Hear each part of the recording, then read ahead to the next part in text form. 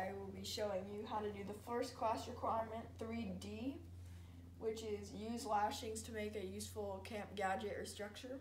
So what I'm doing for mine is I'm making a flagpole for to go to a portable flagpole to bring on camp outings. So we'd always have a flagpole at our campsite.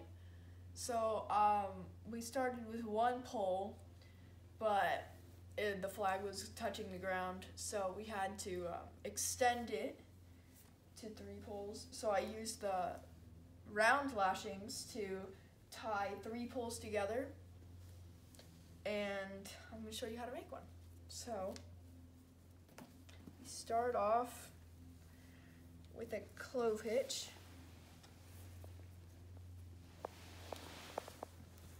You're gonna need a lot of rope for later. And then, boom.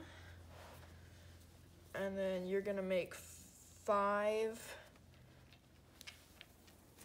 turnarounds, five loops around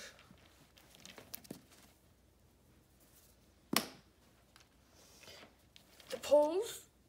It's five.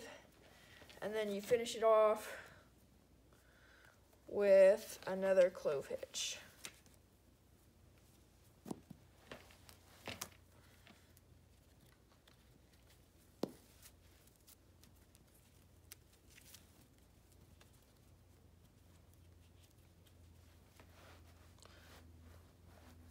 And make sure it's tight.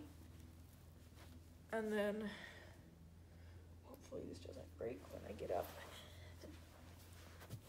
We're gonna check to see if it's sturdy. Sorry about that. We're gonna check to see if it's sturdy.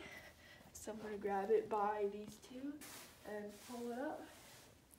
And as you can see, it's not falling apart. It's not breaking at all. So the hitches work. Thank you guys for watching. Hope you like and subscribe the video. Hit the notification bell to receive more of my daily videos. Thank you guys for watching. Bye!